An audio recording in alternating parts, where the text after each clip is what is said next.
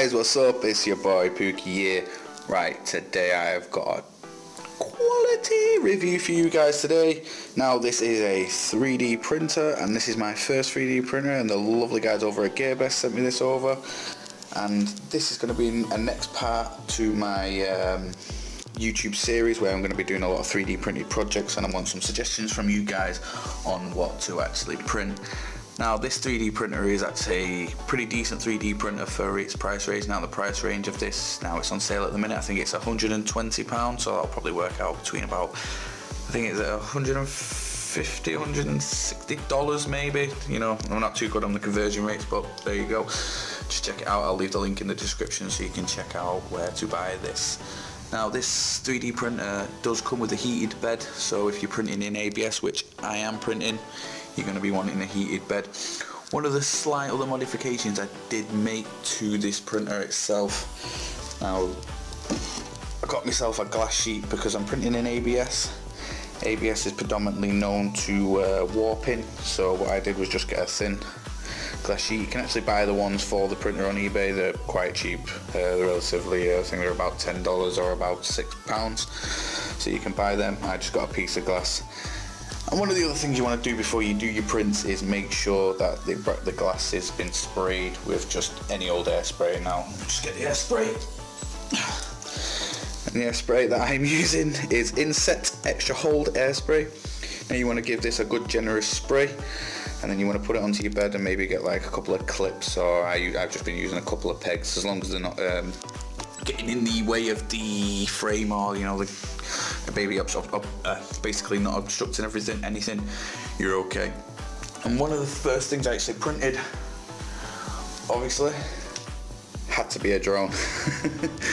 now this is a V-tail quadcopter.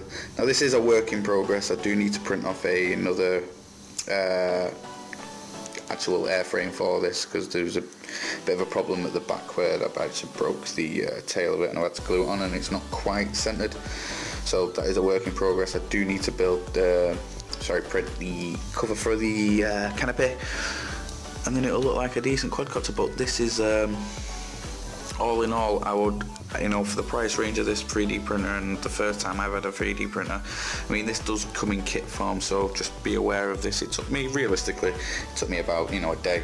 That's just coming, you know, coming back to it, you know, just going on the computer, having a look and all I did was just watch these step by step and they do get step by step video tutorials with this printer and you can just basically just stop and start the video and you just basically carry on as and when you please so it did take a day to set up and one of the other things that you need to do is calibrate the bed now there's a setting in the menus called disable stepper and what that means is you can move the bed left and right and then you level it down to the bed.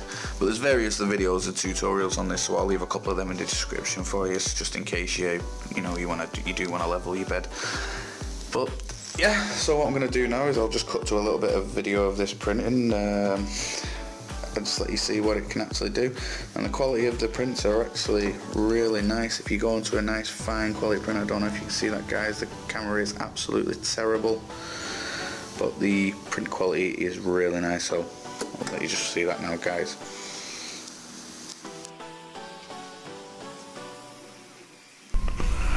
So I don't know if you noticed there guys, I've got a bit of tape holding my print down to the print bed.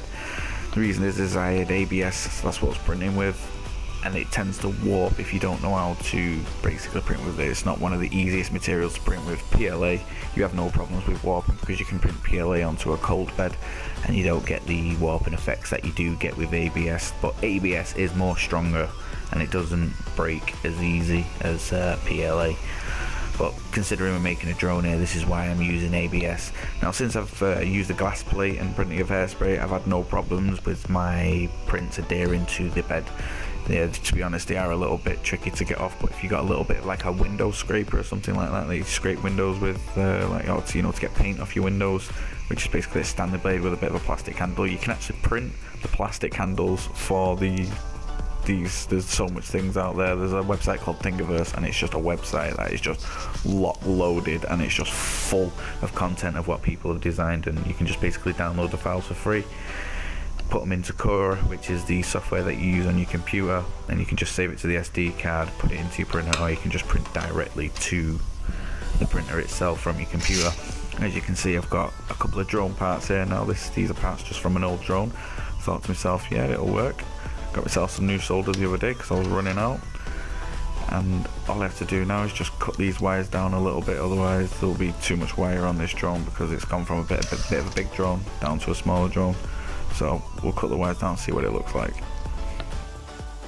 So as you can see, it's a really really nice build. Now I've tried keeping the wires as clean as possible. This is a V-tail, so the if you notice the motors are on upside down, so the the propellers do spin the opposite way, so you have to swap them over for this configuration. But it's definitely a work in progress, and I just need to print the canopy off this. So I hope you like this video, guys. And if you did like this video, don't forget to like, share, and subscribe. And also, if you do want one of these printers, check the description below.